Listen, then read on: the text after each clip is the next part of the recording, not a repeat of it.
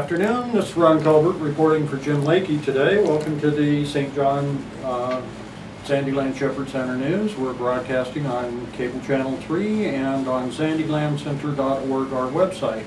Mr. Lakey will be out for a few days. He's in the hospital and we wish him the very best, as well as I understand one of our uh, uh, other regulars and a board member, Jan, is recovering from some hip surgery and we wish her the greatest of luck too. Uh, seems like this time of year is a good time to hide and not move much because it's sure a lot going on. Today's February the 8th, it's Friday. It's going to be a high of 56 degrees today and a low of 35 tonight. Uh, tomorrow, Saturday, it's going to be 52 and 39 with a 30% chance of rain and a 26 mile an hour wind. Uh, Sunday, 51 with a low of 27 with 31 miles an hour of wind, so make sure to keep your trash cans locked down and watch for blowing stuff. Monday will be 50 for the high and a low of 26. Uh, special programming note, uh, this last week the Board of Education met and so we will be broadcasting that at 1 o'clock on Sunday. Uh, we have a couple of birthdays, always like birthdays and stuff. Today we can say happy birthday to Leon Shelton, Trey Nelson, and Connie Edwards, as well as happy anniversary to Jim and Mar Marlise Lakey. Uh, tomorrow is Natalie Clark's birthday and Valletta Ward's birthday, and we hope everybody has an absolutely wonderful and joyful birthday. Please have a good time.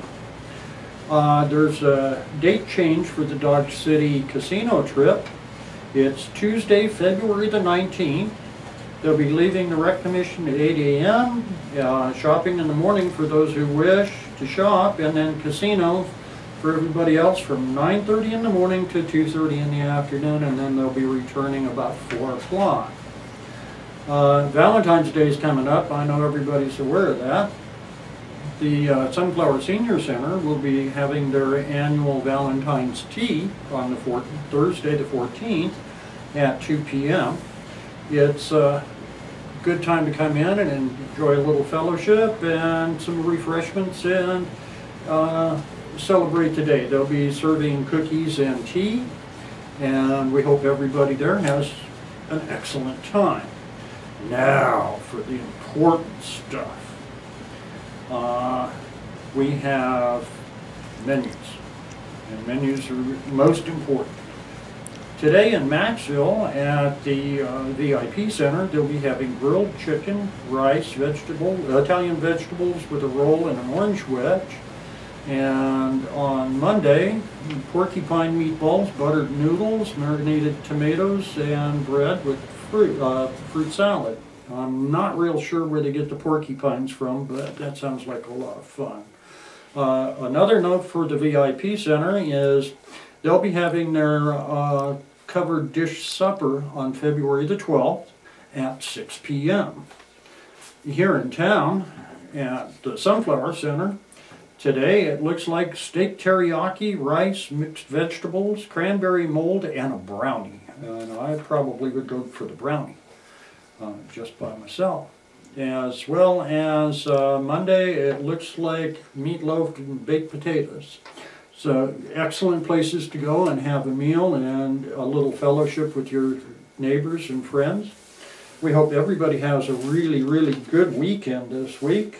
That's really all the news and announcements I have. If you have anything else you want us to put on, please feel free to uh, either call us or email us.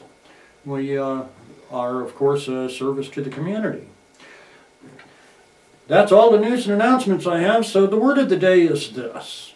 Happiness is not something you get, but something you do. This is Ron Culbert, hoping you have a great weekend.